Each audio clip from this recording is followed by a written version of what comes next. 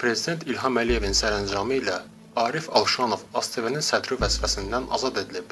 Qafqazın bu məqamda Arif Alşanovun yerinə təyin edilən gənc kadr Rövşən Məmmədovla bağlı bəzi məlumatları təqdim edib.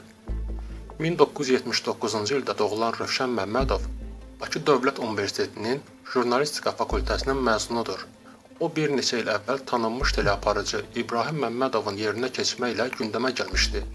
Belə ki, Arif Alşanovun müavini olan İbrahim Məmmədovun aparıcısı olduğu Günün Nəbzi və həftə analitik verilişlər Rövşən Məmmədova həvalə edilmişdi.